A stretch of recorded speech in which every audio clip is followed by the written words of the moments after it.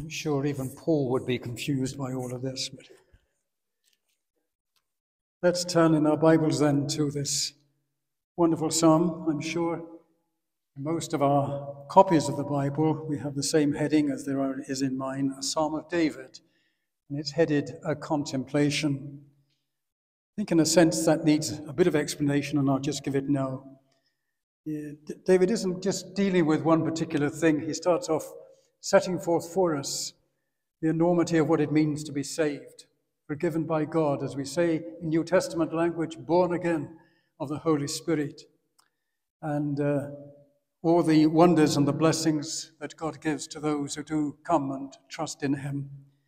Then, immediately afterwards, we have those perhaps what seem to be at first strange words of regret and sorrow and suffering and all that kind of thing because he's talking about a time when it seems he had sinned but didn't either realize it or hadn't confessed it until he says he came and he did do so, and God forgave him all his evils. And then in that seventh verse, we'll come to it. He tells God, You are my hiding place. The transformation is complete, and he's discovered the wonder and the glory of knowing what it means to be truly forgiven and saved by the grace of God. And then he seems to me to stop talking and writing and listening. God speaks to him. I will guide you with my eye. And then in those last two verses, the cry of God Himself for those of us who know and love Him, how He wants us to respond and behave as we come into His own presence. We called this this morning, or I called it this morning, the blessed man. This word blessed we do need to just perhaps reflect on for a moment or two. It has been described by many writers and authors and commentators as meaning happy. But we do need to remind ourselves that often in the Bible, words that we use in our everyday language mean something different in Scripture. When, for example, we talk about peace in the Bible, it does mean something very, very different to what we think of in this world in which we're living. I suspect many, many of us have much peace about the present time with the election coming up. But we are before God in a different world which we have to deal with.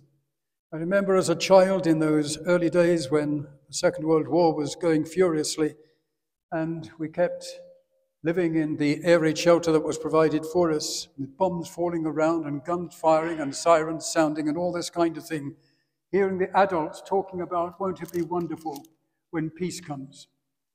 For them, peace means when war is over. For us, it means peace while the war is going on. While we're still in this world and we're still suffering and struggling, and as Paul puts it in his New Testament epistle, we are engaged in a warfare. We cannot escape that. But it doesn't mean that we're waiting for peace in heaven. We have it here and now. Yes. And the wonder and the glory of the Christian message is that God doesn't just give us lovely feelings and a feeling of satisfaction and all that kind of thing. God gives us Himself. And Paul tells us in the New Testament, the Lord Jesus has done that. And he says, talking about the difference between Jews and Gentiles, he himself is our peace. When we look at this word blessed, and if we say it means happiness, we have to remind ourselves it's a very different meaning to what we think of here in this world, which depends upon our circumstances. We can be happy if we've got food in our inside. We can be happy if we've got a roof over our heads. We can be happy if we've got good health, if the money's coming in from our work, if the children are growing up nicely. All these things are dependent upon circumstances. But what David is talking about is not dependent on circumstances, but dependent upon God. And here, as we turn to it this morning, he says, Blessed is the man whose transgression is forgiven whose sin is covered. And again repeats it Blessed is the man to whom the Lord does not impute, that means reckon up, iniquity, and in whose spirit there is no deceit. We may wonder, perhaps we should, how it's possible for David, living hundreds of years before the coming of the Lord Jesus Christ into this world, could talk and testify in this kind of way. And it simply emphasizes the wonder and the glory both of God and of his wonderful gospel. It's true, the Lord Jesus Christ wasn't going to come and appear in this world in Bethlehem and be laid in the manger and all that took place afterwards for hundreds of years. And yet, David speaking with such certainty as though it's already taken place. And the glorious message of the Bible to us this morning is it had already taken place. Because the Bible tells us in the New Testament that the Lamb of God, the Lord Jesus Christ, yes, he was going to be slain on the cross at Calvary. But God had already established that before time began. He is the Lamb of God who was slain before the foundation of the world. How can that be? Well, when you and I make our plans for the future, the Bible tells us that we should be very careful to acknowledge that we're not in charge and in command of these things. God is not our servant to do what we want. He is in command and in control. And so we should say, whether we use the words or not, God permitting, God willing. But when God makes his plans and establishes his purposes and his agreements in heaven, he doesn't have to turn to anyone else. It is God Almighty who is upon that throne and in control. And when the Father, the Son, and the Holy Spirit agreed in eternity how mankind, when Adam was made and God knew that he would sin, how he would deal with it all and make it all come right again. The Lord Jesus Christ agreed with his Father and the Holy Spirit he would come. And it amazes me what he must have been thinking in heaven through all those years of the Old Testament, particularly in Israel when they were so far removed from him. The day is coming when I'm going to go and I have to lay down my life. He was going to become a man and live here among us, and in Bible language, bear our sins in his own body on the tree. And yet, even more than that, the Bible also says he didn't just bear them, as it were, on the outside. He became sin for us, who himself knew no sin, so that you and I could become the righteousness of God in him. What happens then after this declaration of amazement and wonder and joy in these opening verses that he turns to these next ones and speaks of this terrible period or time, however long or short it was in his life, when he says, My bones grew old when I kept silent through my groaning all the day long, and so on. Had God not said when David was just a young lad something very special about him? King Saul had gone astray and God had dismissed him and sent the prophet Samuel to appoint and anoint a new man to be king over Israel. And he came to that house and went through all those young men, thinking this might be the one, and God said no each time. And in the end, the prophet, perhaps amazed and bewildered, said to the father, Is there nobody else? And it seems as though Jesse must have said, Well, yeah, but I didn't think it was worth bringing him in. He's just a young lad out looking after the sheep. And Samuel said, Bring him in. And when he arrived, God spoke into the heart of the prophet and said, This is the man. And you remember his testimony a man after God's own heart. Had God got that wrong? Had he misread David and what he was going to fall into and get involved in in his older years? Was this God not really understanding what was going to take place and having to rethink his own testimony about this young fellow at the time? No. The Bible tells us God knows the end from the beginning. The Bible tells us he knows all things. And he has chosen us in the Lord Jesus Christ that we may be forgiven and saved, not when we were born or living in this world, but before time began, when the Lamb of God was slain from before the foundation of the world. And just as we in this world have our records of birth, marriages, and death in our various countries, so ours is written in heaven. In the Lamb's book of life, our names recorded that God would call us to be his children in the process of time. But it doesn't mean that David was going to live a pure, holy, spotless life 24 hours a day. He was still in this world just as you and I are still in this world. God didn't have to wait and see what David would do. He knew what he was going to do. But in his goodness, in his grace, and in his mercy, he had forgiven him. The blood of the Lord Jesus Christ in the plan and purpose of God, slain in heaven and poured out at Calvary. God Almighty performing his own work.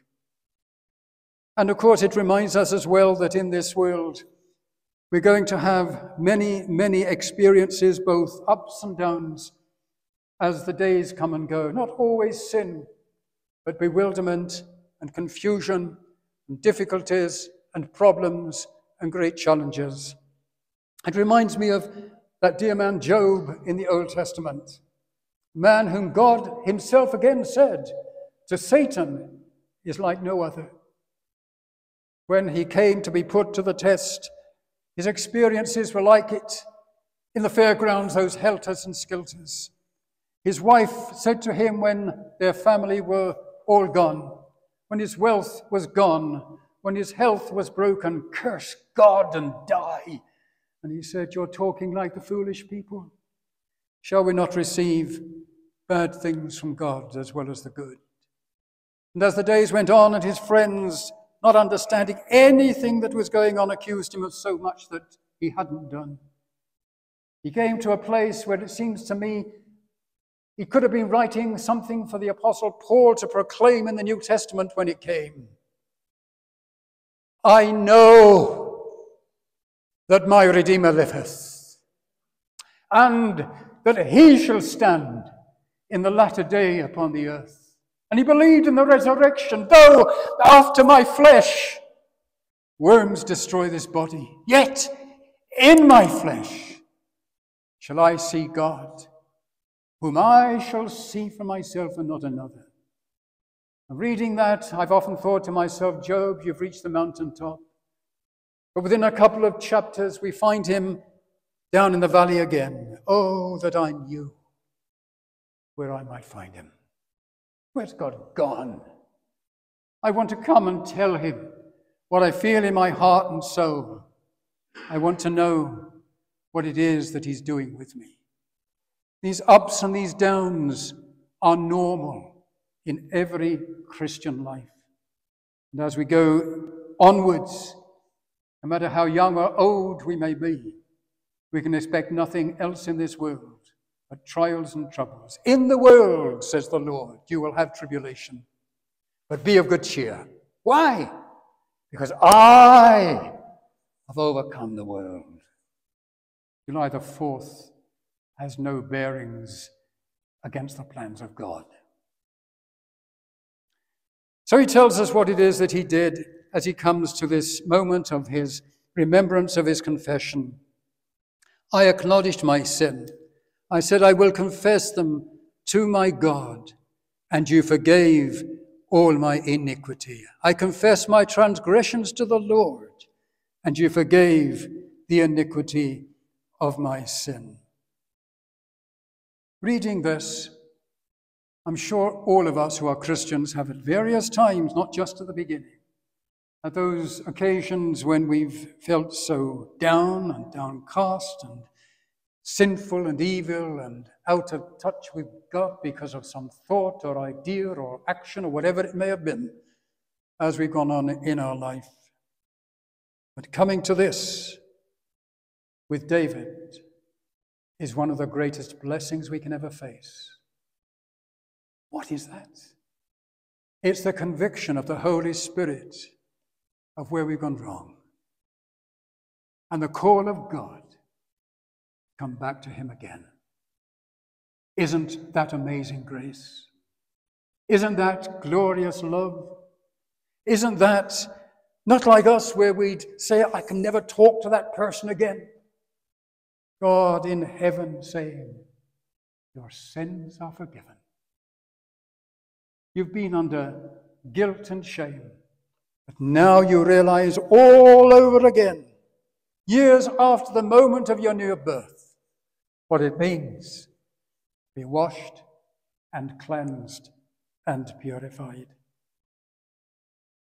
And in all of this, we're told in the Bible that in heaven, our blessed Lord and Saviour, seated on that throne at the right hand of the majesty and glory, ever lives to make intercession for us.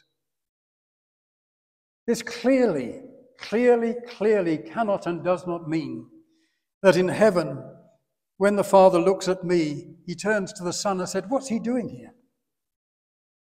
And Jesus having to say, No, it's all right, Father. His name's in the book of life, and he came to salvation when he was 11. I know he's gone astray, but I've forgiven him. Oh, that's all right. No, no, no, no, no. There's no conversation of any kind like that in the heavenly glory. When Jesus was here, he said, I and my Father are one. I always do the things that please my Father. The things I say are what my Father wants me to say. I don't go against him in any kind of way at all. And if you go back, as we have done under Peter's ministry recently, to the story of Christmas time, or at least that week or so just afterwards in Jerusalem, when Simeon took that babe out of the arms, presumably it was Mary holding him, and looked at him, Jesus didn't say a word. He was a baby. He who brought everything into being in heaven and in earth by the words of his mouth had to learn to speak. Whether he was awake or asleep, we do not know. But he spoke to Simeon. He spoke because of who he is. He spoke because of who he was. And Simeon said to the Lord, You've told me I'll have to wait to die until I've seen your salvation. I'm ready. I've seen your salvation, a light to lighten the Gentiles and the glory of your people Israel. In heaven, God, the Lord Jesus Christ, is interceding for us at this very moment. Not with words, but because He's there. His very presence in the heavenly glory, who took our sin and shame and guilt and everything accused against us there on the cross at Calvary. Now he says to the Lord, the transformation is complete. For this cause, what is that? What we've just been saying. God has taken hold of us. God had taken hold of David. The transformation was complete. Yes, it was going to be marred again and again. The soul was righteous in the sight of God. Every sin, past, present, and future, the blessed man knows has been forgiven. And here we find, as we turn to God again with David, for this cause, everyone who is godly shall pray to you in a time when you may be found. Surely in a flood of great waters they shall not come near them. And then he says this You, what we said earlier, you are my hiding place. You shall preserve me from trouble. You shall surround me with songs of deliverance. David knew what it was to be opposed, both by King Saul when he was being chased across the countryside, hiding in the mountains, in the forests, in the hills, in the caves, seeking shelter away from his enemy. And later on, of course, when things like that went wrong again and again. You shall preserve me from trouble. You shall surround me with songs of deliverance.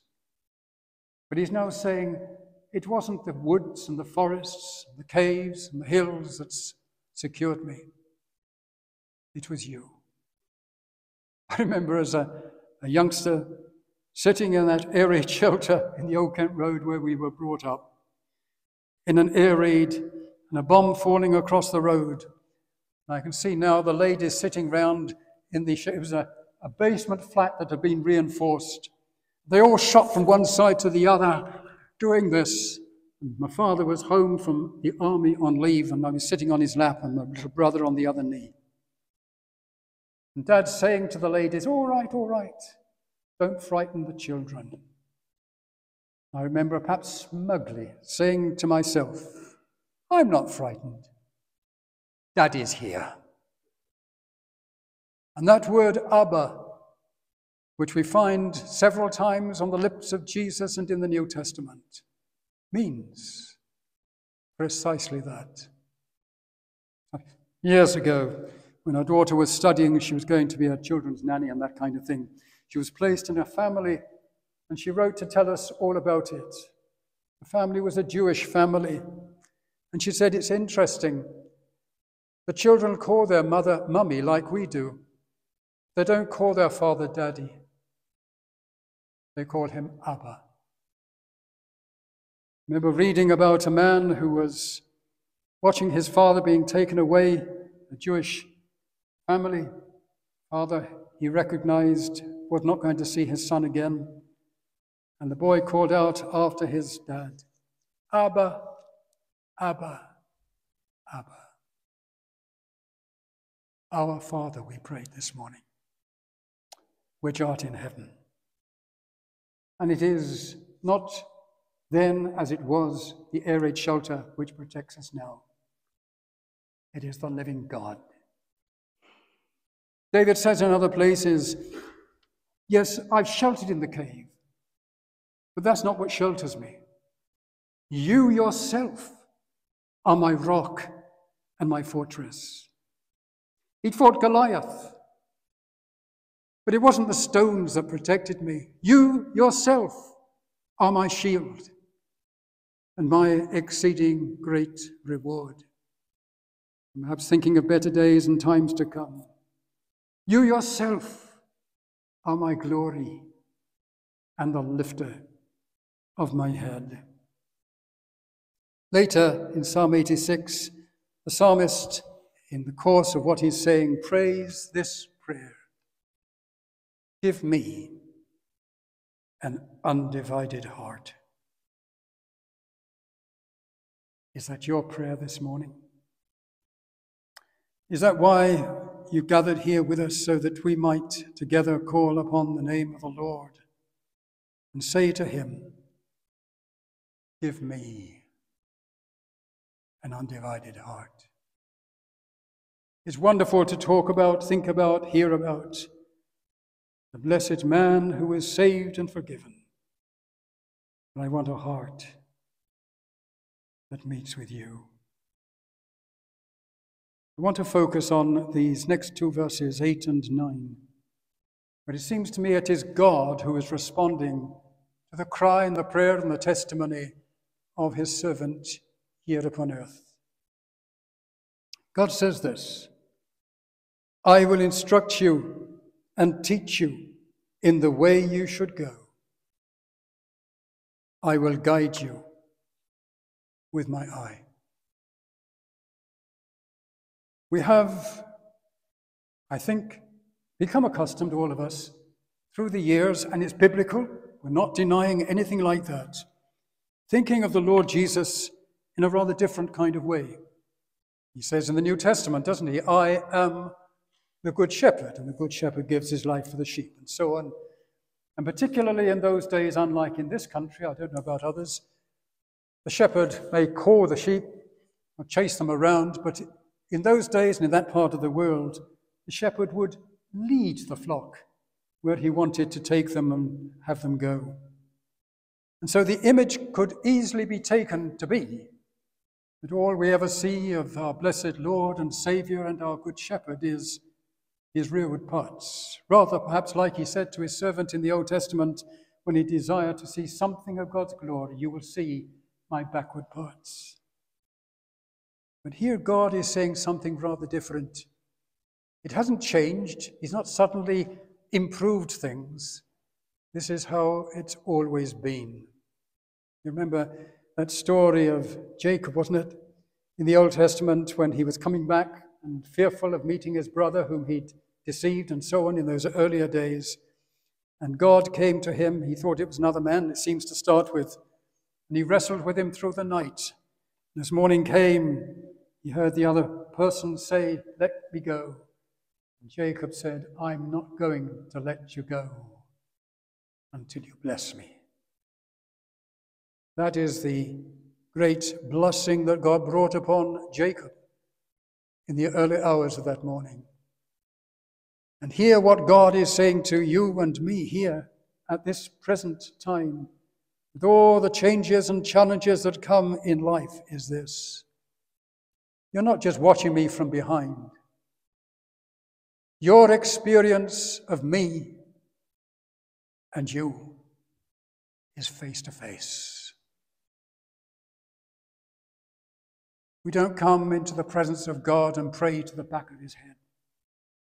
We come into the presence of God by faith, in spirit, and meet him face to face. His eye, he says, is upon us. The amazing and glorious thing about all of this is that God has a plan and a purpose, not just for the world, not just for the church in it, but for every single individual one of us. He leads, He guides, He provides, He undertakes.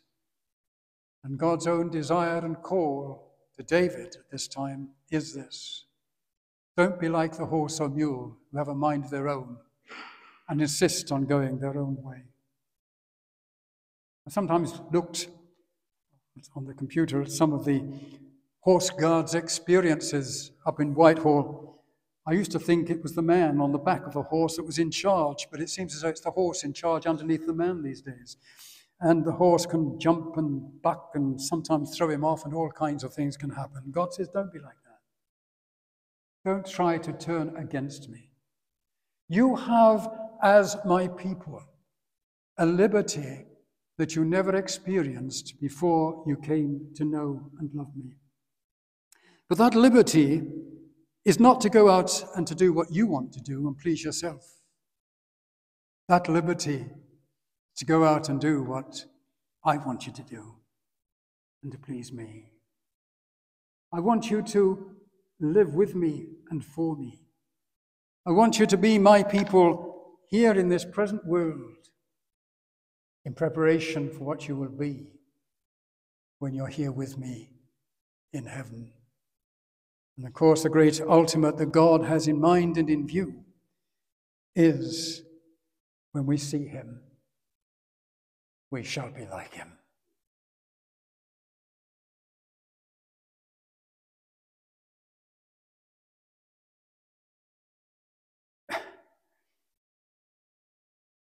In preparing all of this, I couldn't get away from certain thoughts and ideas and so on that kept coming.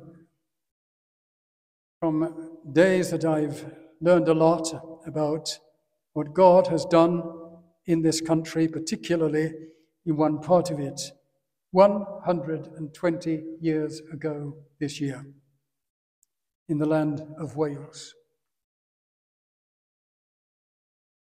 The church was in a terrible state and condition. There were just a few who were concerned about what needed to be done. And they were praying for a mighty moving of God. We don't hear the language much. We've been talking and praying about it more in Lansdowne over recent times. The language of revival.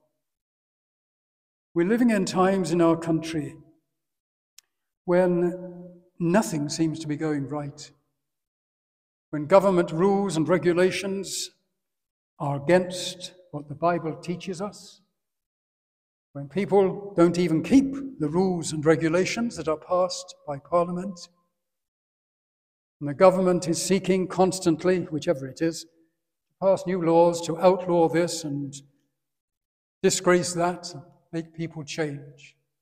It baffles me. People don't observe the laws we've already got. Why they should want to pass new ones is, is amazing.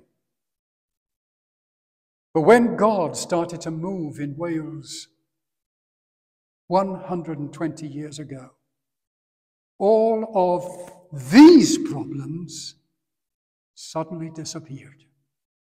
How? In the church services, and it wasn't just one man doing it, it began to spread across what we call the Principality of Wales. Men and women in churches began to realize God was there. They began to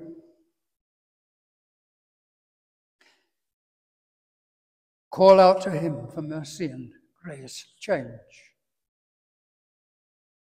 And God responded. People who'd never been in a church began to come in to find out what was going on. And services were extended not for an hour and a half, but for half the night. The churches were opened for meetings and so on when they'd never been opened before. One of the amazing things is that the police in the streets began to find they had nothing to do. The men, and particularly the coal miners, as they came up out of the pits, weren't going to the pubs and the betting shops and the vice dens. They weren't fighting in the streets. They weren't causing mayhem and trial and trouble on every side. The police discovered they were now in the churches. They were in the services, the prayer meetings, and the Bible studies. Such Christian bookshops as there were began to complain we can't get enough Bibles to sell. People were calling upon the name of the Lord and being saved. But above that, the Christians were being changed. God had come in a new kind of way. And it wasn't just in the adult numbers of the churches, it was amongst the young people and the boys and girls. They were not carrying knives in their pockets, they were carrying Bibles in their hands. The miners who were going down into the pits, a miserable life, went down early to have prayer meetings together before they started work. And when lunchtime came, they sat there to eat their sandwiches covered in coal dust.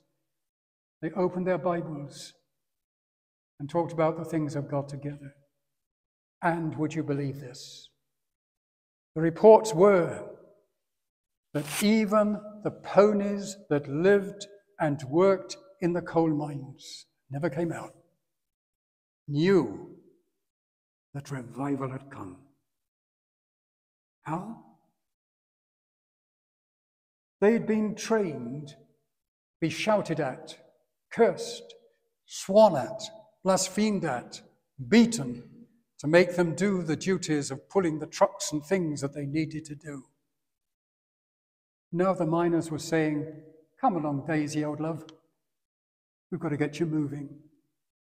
You pull, I'll give a push to help. And those poor ponies, if they could have used words, were looking at one another and saying, What on earth are they talking about?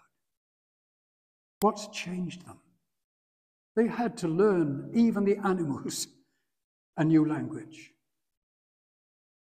God was in the coal mines, as well as in the churches and in the streets. The pubs and the betting shops were closing, the churches were opening. Is there not hope for what we see around us here in West Norwood in this present day? and this present time. I will guide you with my eye. These last two verses or a kind of bringing together from the Lord what He wants His people to do and how He wants them to behave and to respond to Him. Let me just read them. Many sorrows shall be to the wicked, but he who trusts in the Lord, mercy shall surround him. Be glad in the Lord and rejoice, you righteous, and shout for joy, all you upright in heart. In Psalm 47, the writers there say, Clap your hands, all you people. Shout to God with a voice of triumph. Now, let me tell you this in case you hadn't realized. I am a very typical Englishman. I can't imagine myself shouting in the church service, in the prayer meeting, in a Bible study, in a time of worship, I find it hard even to clap my hands. It isn't unusual for me to move my hands around. Let me just confess this. I've always spoken with my hands. We had in our early days at home with the children, we sit around the table, four of us. And the children, as I was talking and doing this all the time, we start moving the glasses and the cups and the things out of the way in case they got hit for six. And on occasions, they take my hands, one in each, put it on the table, and they say, Now, Dad, talk to us, and roar with laughter when I couldn't say a word. I don't use my hands like that these days. I have to use them for another purpose, and that's holding on for dear life in case I fall over, is not the physical, the natural that we're talking about here. This is a spiritual response to God. And me, with my English sentiment, cannot begin to imagine what I might be like when God comes in revival. Are we ready for that? There are those who worry and wonder if we clap our hands, are we becoming like other churches? All I can say is this. Here in our church, we remember the Lord and his death in what we call the communion of the Lord's Supper. In some churches, it's called Holy Communion. Does that mean we're joining the Anglican people or the Roman Catholics? Here in this church, we baptize under here, the baptismal pool is people who have come to know and to love the Lord Jesus. Does that mean we're becoming what's called a Baptist church? Here in this church, some folks clap their hands. Does that mean we're becoming Pentecostal? I do speak in another language that the Bible calls an unknown tongue. Does that make me a charismatic? Surely what God is saying here is He's not calling us to be like other Christians. He's calling us to be like God. Calling us to be like the Lord Jesus. Calling us to respond to Him with thanksgiving and with praise. You may yet find me clapping my hands in the presence of God. Isn't it strange? We are peculiar people. If I'm sitting in a concert listening to something wonderful and I've enjoyed it, I can happily clap with everybody else. Doesn't God deserve something better than that? I'm not suggesting we spend our time doing that all the time. One of the problems they faced in Wales during those times when God was moving mightily was that they forgot they needed keep preaching the word of God. And newcomers coming in, people who weren't saved, weren't hearing the Bible opened up to them. That had to be addressed. They had to come back to it. God wants us to grow in grace and in our knowledge and love of Him. Our final hymn this morning, if we're still going to sing that in a short while, is one that comes from that Welsh revival. They used to call it the love song of the revival in Wales. There were only two verses in those days, and it was written in Welsh. Has been translated, thankfully, into English. Another two verses were added to it later on, and I believe other verses have been added in our present day and age as well. And I just want to,